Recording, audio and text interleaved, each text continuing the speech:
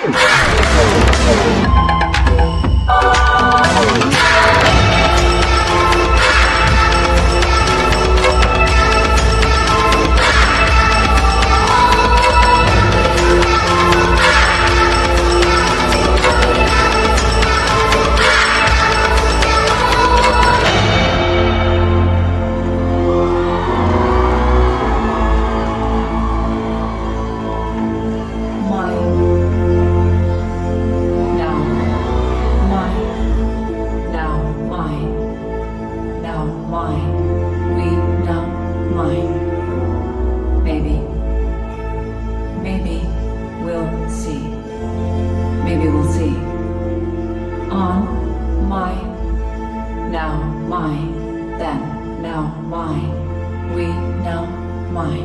And maybe now, maybe we'll see.